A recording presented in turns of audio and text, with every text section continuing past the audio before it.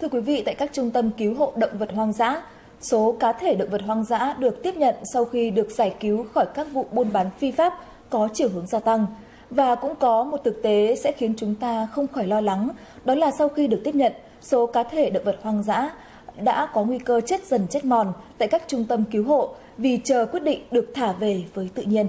Ghi nhận của nhóm phóng viên truyền hình Công an Nhân dân tại một trung tâm cứu hộ động vật hoang dã ở Sóc Sơn, Hà Nội về tình trạng này. Những cá thể hổ này đã được nuôi nhốt tại trung tâm cứu hộ động vật hoang dã từ khi mới vài tháng tuổi. Đến nay, sau 4 năm nuôi nhốt, những cá thể này vẫn chưa được trả về với tự nhiên. Tất cả chỉ vì một lý do, các cá thể này là tang vật của vụ án và cho đến nay vụ án vẫn chưa được các cơ quan chức năng xử lý. Cái việc tái thả hiện nay gặp rất nhiều cái khó khăn. Đó là vấn đề cái thời gian xử lý của các cái cơ quan chức năng ờ, đối với các cái tang vật là động vật hoang dã. Vì đây nó đã là tang vật vụ án nên là khi phải có cái quyết định cuối cùng của cơ quan chức năng thì cái động vật đó mới được như vậy là xử lý. Do vậy là có những cái ờ, vụ án có thể kéo dài đến vài năm.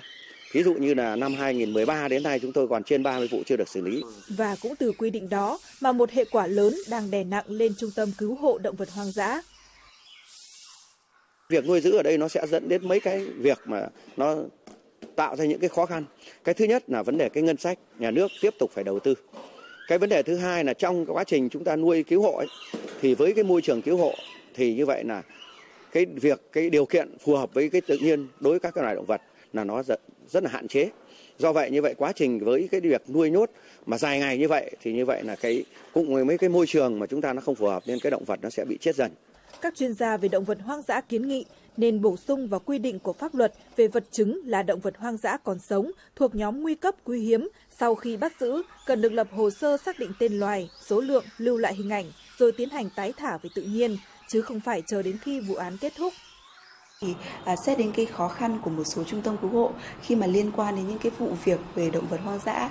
thì chính vì thế INVI đã làm việc với à, Ủy ban Tư pháp của Quốc hội và trong cái quá trình mà dự thảo bộ luật à, tố tụng hình sự sửa đổi bổ sung thì đã góp phần giải quyết cái vấn đề này à, trong bộ luật tố tụng hình sự tức là sau khi có kết luận giám định thì hoàn toàn có thể tái thả được những cái cá thể động vật hoang dã trong cái vụ án hình sự. Theo báo cáo gần đây nhất của Trung tâm Cứu hộ Động vật hoang dã Hà Nội, thì cho đến nay, gần 200 cá thể TT Java là nhóm loài nguy cấp quý hiếm cần được ưu tiên bảo vệ đã không thể sống sót khi được nuôi nhốt tại trung tâm này.